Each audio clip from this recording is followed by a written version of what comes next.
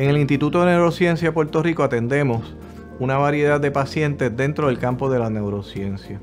Es un instituto guiado en referidos, en, clínicas, donde atendemos ya casos de neurocirugía, especializándonos en condiciones neurológicas de la columna vertebral.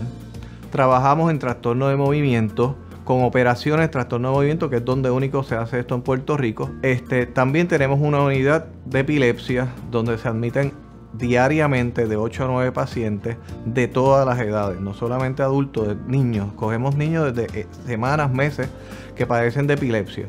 Desde el 2005 empezamos a hacer operaciones de la columna vertebral y del cerebro aquí en Manatí Medical Center que nunca se había hecho anteriormente y poquito a poco en los últimos 15 años pues hemos seguido progresando nuestro servicio donde vemos pacientes desde niños, adolescentes y adultos.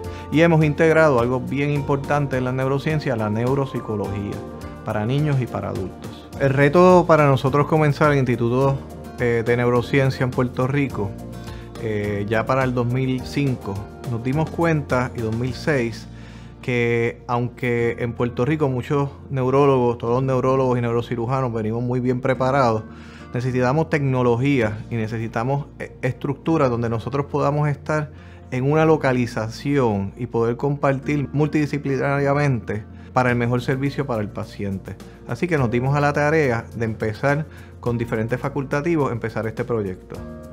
Nuestra meta es que cuando el paciente venga con un problema neurológico, su columna vertebral, nosotros hacer lo posible por darle el mejor servicio a ese paciente, el mejor plan y el mejor tratamiento y posoperatorio seguimiento para que ese paciente tenga su mejor calidad de vida lo antes posible.